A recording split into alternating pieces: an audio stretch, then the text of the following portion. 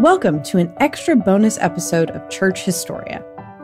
As we recorded season one, our conversations took us in many directions, and not all of them made sense as part of an episode. Today, we're excited to bring you one of those extra conversations, recorded in the context of our episode about the Mar Thoma Church and our conversations with Jissie and Rainu. In this case, our extra conversational meandering was about food, culture, faith, and finding sacredness in the ordinary.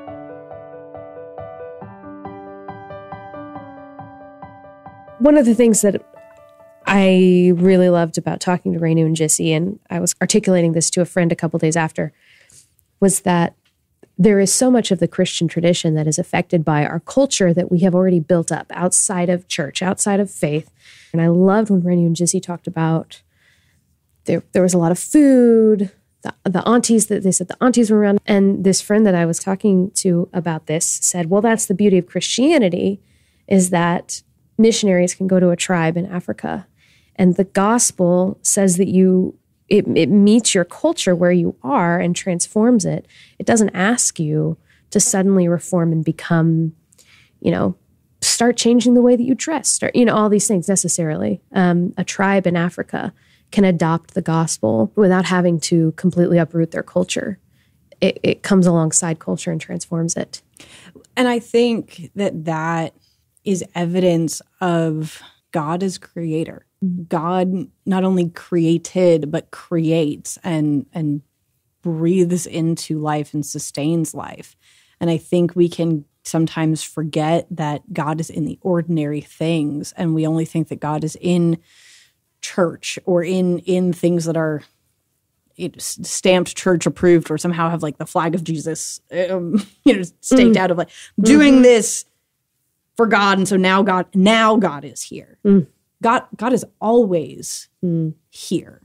So I, I do understand the sort of countercultural elements of Christianity because I think just to say cr- culture and Christianity are one and the same can itself be dangerous, but it's also equally as dangerous to assume that God is nowhere to be found in whatever mm. combination of cultures that you're in. We've talked about this before that you're not just part of a culture. Yeah. You are right. part of a multitude of cultures that intersect in your life. And I think it's a mistake to assume that God is somehow not present in the ones that are quote unquote secular or that God is not present unless you've somehow baptized the hmm. thing that you're doing for Christ. Um, I think, you know, talking about the aunties making food, making food can be this beautiful gift of of life and community and communion. And i think it can be that way even if we don't necessarily say i am doing this thing for you in the name of the father and the son and the holy spirit. It it still carries with it that godness of god's stamp is is everywhere and is in the ordinary yeah. and it's important to remember that. And I think, like you said, I, I really enjoyed hearing from Rainu and Jissie about that intersection for them between this experience of this Christian tradition and their culture. And I also think that as a white person, I forget that I also experience that same thing. My Christianity mm. is very informed by my Americanness, by my whiteness. Mm-hmm. That that is a culture that shapes it it just happens to be the dominant one within the community that I live. So it can be easy to forget yeah. that that I have this that I have this culture, that my culture and my Christianity are also in dialogue and in shaping. And I think mm-hmm. it can be be a helpful reminder. Yes. That at least it was a, it's a helpful reminder to me that came out of that conversation with Rainu and Jissie to remember that that is that same interplay between culture and Christianity with all of the blessings that that brings, and then also the muddiness that that brings about am I doing this because it's a cultural thing? Yeah. Am I doing this because it's a Christian thing? Can I even tell the two apart anymore? Mm. That's all part of the fact that Christianity is a lived experience in the world. And our, yeah. our humanity is is messy. Uh, there are so many things I want to say. Let me start with this. Um, good friend of mine passed away in a ATV accident a couple weeks ago.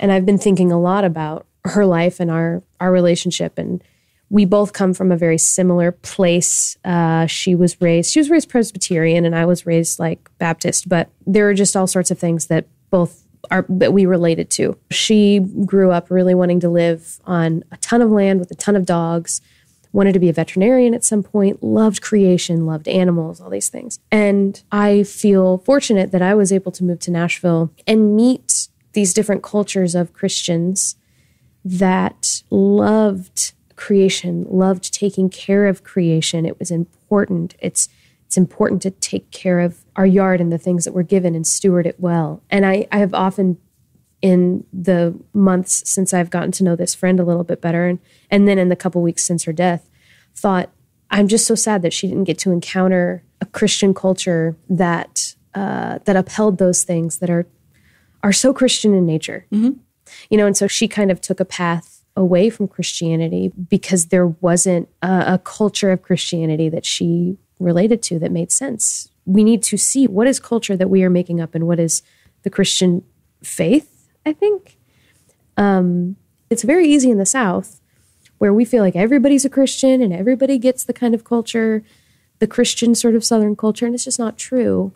Um, there are practices, there are things that we're interested in that we can explain as a part of our culture that is then heightened and brightened by the gospel.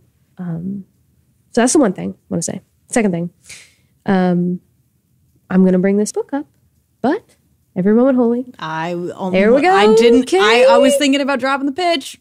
Okay, but let me. You, thank you for letting me do it. It You're always welcome. delights me. You're welcome. Was talking to a cousin recently who gifted this book to a friend of hers, and this friend of hers didn't necessarily have a, a strong faith that she knew of. She was just moving into a new house.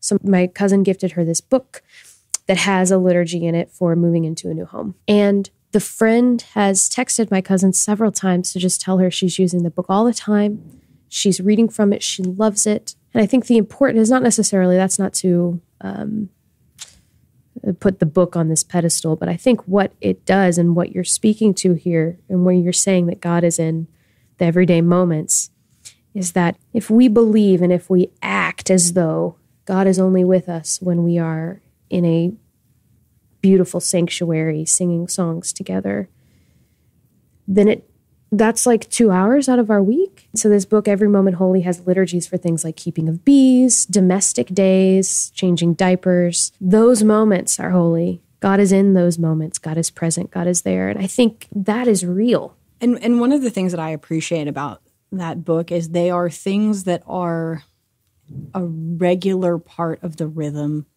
of life.